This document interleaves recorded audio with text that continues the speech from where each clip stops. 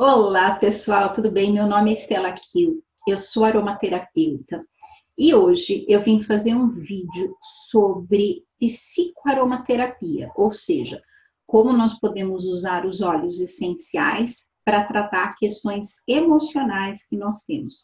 E hoje eu vou conversar com vocês sobre o medo de rejeição. Então fica comigo até o final desse vídeo que eu vou contar de onde surge esse medo, como que isso se constrói dentro da gente e quais óleos essenciais você pode usar para te ajudar a lidar com isso.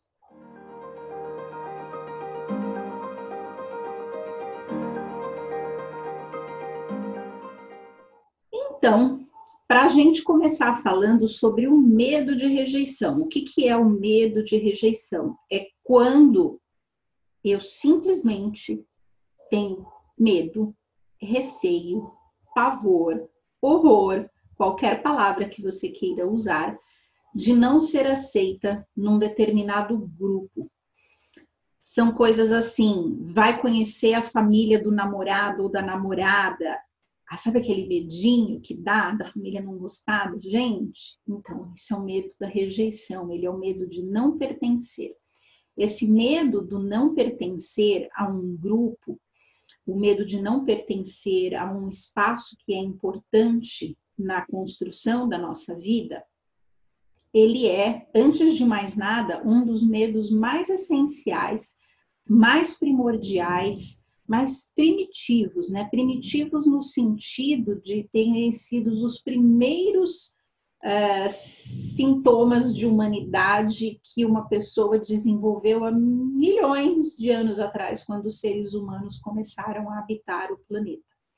E esse sentimento, ele veio porque na, naquele contexto era muito importante uma pessoa pertencer a um grupo, porque elas dependiam desse grupo para a sobrevivência. Então, se por qualquer motivo a pessoa fosse expulsa desse grupo, a vida dela corria sérios riscos. Porque pensa na pré-história, uma pessoa não tendo outros seres humanos para se defender, ela viraria presa de um animal. Né? Então, é desses medos relacionados à nossa sobrevivência. E esses medos relacionados à nossa sobrevivência, eles são intensamente marcantes dentro da nossa psique. Eles são aqueles medos que fazem com que a gente tome atitudes e depois de um tempo a gente olha e fala: gente, mas por que, que foi que eu fiz isso mesmo? Por causa dessa estrutura antiga, que eu gosto muito de falar que é uma arquitetura da nossa alma, é uma arquitetura da nossa psique ou do nosso ego. Ah, as estruturas das nossas decisões, elas podem ser tomadas em cima desses medos ou em cima dos gatilhos que acionam esses medos. Que no caso, esse medo mais antigo, ele fica ali guardado dentro de camadas mais profundas do nosso subconsciente, e depois a gente passa por experiências que vão colocar gatilhos para acionar esse medo. Então, esses gatilhos, esses gatilhos, desculpa, eles podem vir de diferentes traumas. Pode ser um trauma gestacional, por exemplo, quando a sua mãe ficou grávida, talvez ela não quisesse ficar grávida, e você lá, pequenininho, pouquinhas células, quando a sua mãe descobriu que ela não queria estar grávida, mas ela estava grávida, e aí que, que ia se fazer? Ela estava grávida. E você sente aquilo como um medo de rejeição que vem de lá do período da sua gestação. Isso se configura por mais amor que você tenha recebido depois. Isso pode se configurar um trauma de rejeição. Pode vir também por traumas de infância. É, a mente da criança ela interpreta o mundo de uma maneira muito diferente dos adultos. Então, coisas simples, como por exemplo, a mãe levar a, a, a mãe e o pai, né? Os pais levarem a criança para a escola e deixarem a criança na escola e voltarem depois para buscar, não importa. Importa que os pais deixaram a criança ali na escola e ela se sentiu rejeitada, ela se sentiu abandonada. Por quê? Porque ela não tem aquela noção de que depois de algumas horas os pais voltam para buscá-la. Ela se sentiu ali abandonada. Isso pode gerar também um gatilho, tanto que as escolas fazem períodos de adaptação hoje em dia. Pode ser por problemas de baixa autoestima, então, a pessoa tem problemas para enxergar seus próprios valores, suas próprias conquistas, ela tem dificuldade de se colocar num ambiente social. E aí, para ela, qualquer tipo de interação acaba sendo muito difícil, porque a pessoa que tem problemas com a autoestima funciona mais ou menos assim: poxa, se eu não gosto de nada em mim, se eu não consigo admirar nada em mim, como é que os outros vão gostar? Então, ela espelha o, senti o alto sentimento que ela tem de si própria para o mundo, como se o mundo fosse pensar exatamente dentro do mesmo padrão que ela pensa, tá? Isso é super comum para outros assuntos também dentro da nossa mente. E excesso de autocobrança, a pessoa que tem um caráter perfeccionista, que ela quer fazer tudo certinho, tudo correto, cumprir com todas as normas, todas as regras, com todo o ser da perfeição. Estar em sociedade é um pânico, porque a hora que você se coloca frente a um outro grupo, se coloca numa entrevista de trabalho, por exemplo, é, por mais normal que seja o nervosismo, a pessoa que aciona esse medo de rejeição é aquela pessoa que corre o risco de chegar na porta da empresa e não entrar para fazer a entrevista. Tamanho o medo que ela tem de errar, ela chega a nem tentar. Então, uh, coisas como a exposição social, relacionamentos e traumas de relacionamento, como por exemplo abandono, sabe assim, você tá ali naquele relacionamento bacana com a pessoa, de repente a pessoa some. Sumiu pessoa esvai-se. Sabe aquela história de sair para comprar o cigarro e nunca mais volta? Isso também pode gerar um gatilho para acionar esse medo de rejeição ou criar esse medo de rejeição que pode ser que não existisse na psique da pessoa até então. Então, para para analisar em que situações esse medo surge e ele é normal, então tudo bem se ele surgir em você. O que é importante é você avaliar se você deixa de ter experiências porque esse medo ele é maior do que a sua coragem de experimentar experiências novas em novos grupos. Esse é um quadro que a gente precisa ter mais cuidado e ajuda de um profissional para te ajudar a lidar com isso.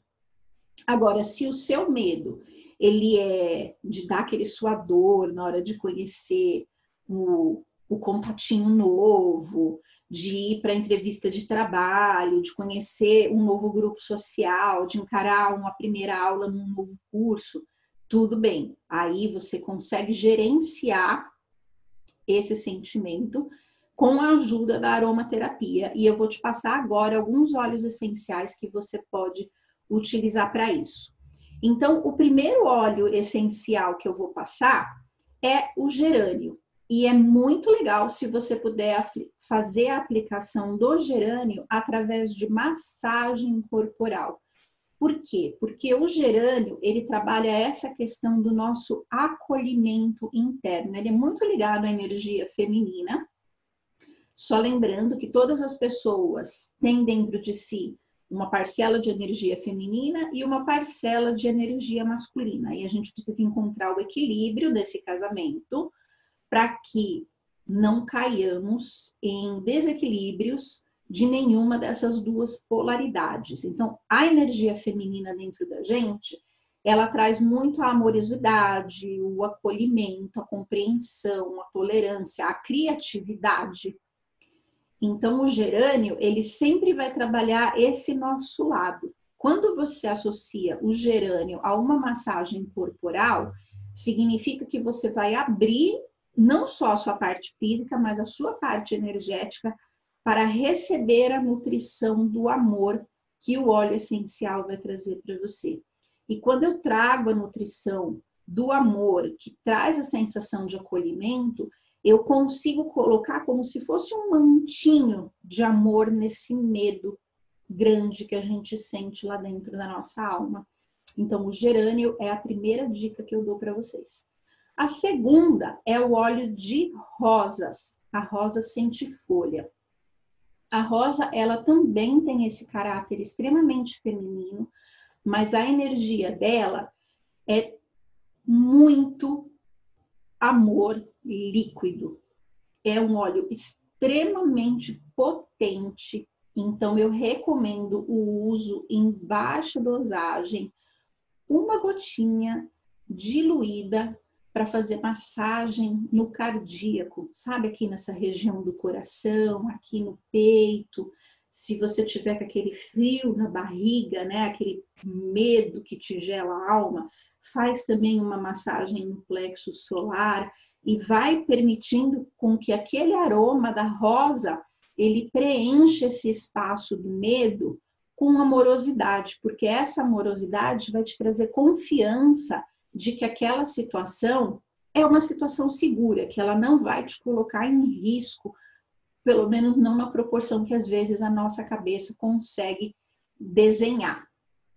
A terceira, a terceira dica que eu deixo para vocês é de usar o óleo essencial do Ilang Ilang. O Ilang Ilang ele é principalmente voltado para as pessoas que desenvolveram o medo da rejeição por coisas ligadas a relacionamentos. Então, é, filhos de mães que os pais foram embora ou não chegaram a conhecer os pais, uh, pessoas que se, filhos de casais que se divorciaram quando a criança era muito jovem e ela ficou com esse sentimento, ou mesmo pessoas que passaram por relacionamentos em que o parceiro ou a parceira foram embora de maneira inexplicada e aquilo fica marcado na nossa alma. O ilang ilang ele é usado na Indonésia, as flores do ilang ilang são usadas em rituais de casamento, justamente por isso, porque ajuda a curar esses ferimentos do nosso coração e a permitir que a gente se entregue a novas experiências a partir daí. O grapefruit também é muito interessante e vocês podem usar esses óleos essenciais anteriores que eu passei junto com o grape, porque o grape, além dele ser um cítrico, ser uma nota alta ele vai acelerar a entrada dos outros óleos essenciais no seu organismo, ele é também um óleo essencial de aceitação. Então, tudo aquilo que eu enxergo como diferente, então, se eu tenho uma característica na minha personalidade que é diferente do grande padrão cultural e isso faz com que eu me sinta menos do que as outras pessoas, cai naquela questão da baixa autoestima que eu comentei anteriormente, o Grape ele vai me ajudar a primeiro eu aceitar a minha diferença, eu aceitar que eu sou como eu sou e depois aceitar ir para outros grupos a partir dessa grande diferença que só faz enriquecer a sociedade quando a gente sabe conviver com quem realmente cada um é. Então, eu espero que vocês tenham gostado dessas dicas. É, o grape, sem esquecer, é muito interessante você usar também o difusor no seu dia a dia, porque ele é um óleo essencial que não gera tanto problema de aceitação por outras pessoas. Então, se você for aromatizar um ambiente e outras pessoas forem sentir esse aroma, você pode usar o grape que as outras pessoas dificilmente vão reclamar porque ele é fofo e cítrico, todo mundo gosta. Então eu espero que vocês tenham gostado dessas dicas. Se vocês ficaram com alguma dúvida, deixa nos comentários aqui embaixo. Se você passa por problemas assim, procura um profissional para te ajudar. São sentimentos comuns dos seres humanos e é super possível gerenciar isso no dia a dia para que você tenha uma vida cada vez mais plena. Então, não esquece de se inscrever no canal, deixa o seu gostei aqui no vídeo E se você tiver sugestões de temas, de outras coisas que você gostaria de ver por aqui, escreve também aqui no canal para gente poder conversar. Um beijo grande e até a próxima!